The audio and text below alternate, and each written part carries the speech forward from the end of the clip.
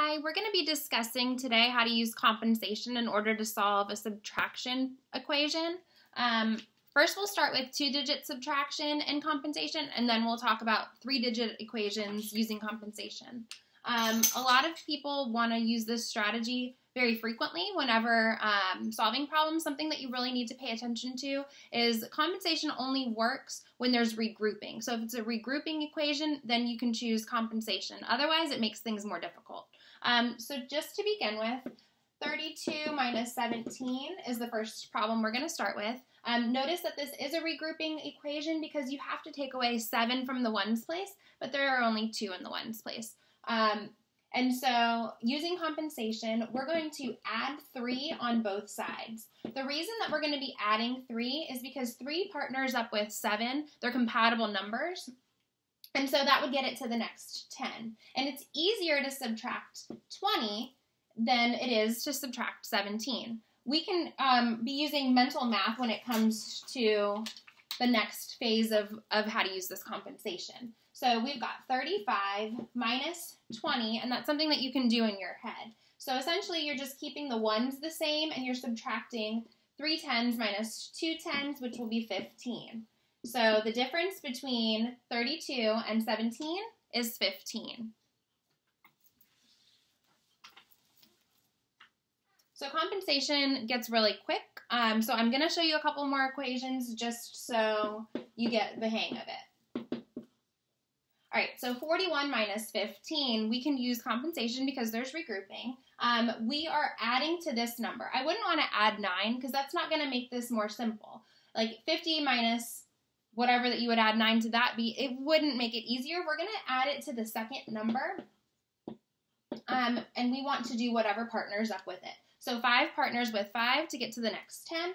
So we're going to turn this into 20, and we've got 46. We're bringing down our subtraction sign, so 46 minus 20 is our new equation. So sometimes you might be asked, what's an easier equation that you could use to solve um, 41 minus 15, this would be what the answer is in order to solve, and, and that would be giving you the same difference. So 46 minus 20, again, we are only taking away 2 from this tens place. There aren't any 1s. So the 1s stay the same. 4 minus the 2 tens is 2, so the difference is 26.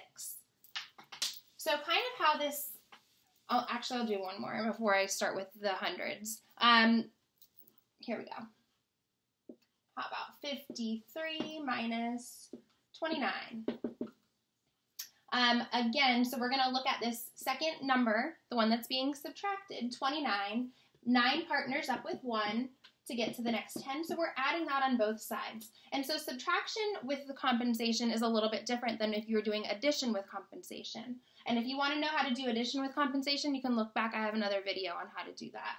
Um, so 29, we're going to turn that into 30. 53 plus one more is 54. 54 minus 30. 5 tens minus 3 tens is 2 in the tens. So the difference is 24. Um, when it comes to using compensation to solve equations that have more than two digits, so three digit um, numbers with compensation, um, it gets a little bit trickier because you could have regrouping from the ones place and regrouping from the tens place. So we'll start with just some regrouping that only takes care of um, if it's only in the ones place. And then I have another example that we'll do um, where you have regrouping in the tens and in the ones place. All right, so 532 minus 215. So notice ahead of time that you've got two in the ones place and you have to take away five. So you're not going to be able to do that. If I look ahead to what the steps coming up would be, three is three tenths is larger than the one ten that we have. So there's not going to be a, a two digit regrouping for this. Um, I'm sorry, two areas where you have to do regrouping. So I'm going to add five because that partners up with um, five to get to the next 10. So I'm going to add five on both sides. So 215 turns into 200, I'm sorry, 220, and then we've got 537 over here. So 537 minus the 220 7 minus the 0, we've got 7. 3 tens minus 2 tens is 1, and 5 hundreds minus 2 hundreds is 3 hundreds. So the difference is 317. So this one didn't have any regrouping with the second one, um, the second number in the tens place. So that one is a little bit easier. It kind of mirrors the same way that we did with the two digits. Um, here's another one. Let's see. I've got all kinds of little papers around me. Um, 356 minus 128. So kind of check out what you've got going on. Is compensation the best way to solve this? Um, it could be, let's see, we've got 6 over here and an 8 over here. So we are going to have to do a regrouping. 5 and 2, okay, we don't have to do it with that. So I only need to worry about adding to the ones place. So I'm going to add 2 to the ones place because 2 partners with 8 to get to the next 10, they're compatible numbers. Um, this gives me 130. And then we've got 358 over here. So the next equation, the new equation, 358 minus 130. So 8 minus the 0 is 8. 5 tens minus 3 tens is 2 tens, and 3 hundreds minus the 100 is 2. So the difference here is 228. Um, I'm going to kind of go back to an, one of the original equations that I have, and I'm going to just change one of the digits so that it turns into having to um, be an equation where you've got a couple of things going on. So 532 minus 275. So previously we had said 532 minus 215. So how we're going to look at this is a little bit different.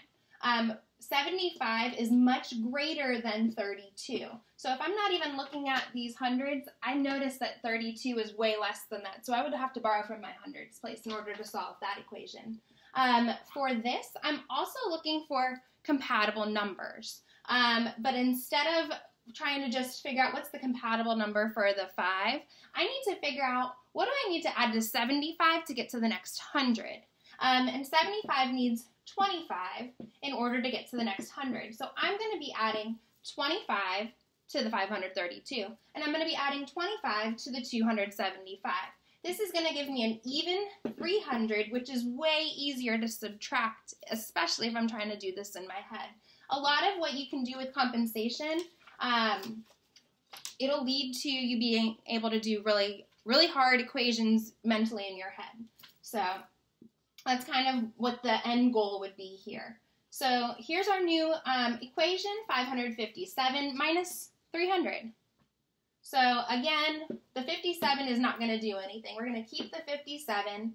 5 in the hundreds minus 3 is 2. So the difference here must be 257. Um, and you should be getting to the place where you'll start being able to do all of this in your head. Um, for us, I do want you showing all of your work, um, but I know that you'll be able to get there really, really quickly because you guys have been working super hard. So this is how to do compensation for subtraction. Remember, it's totally different than when you're using compensation for addition. Um, you can use compensation when there's regrouping and it makes the problems a little bit easier to solve.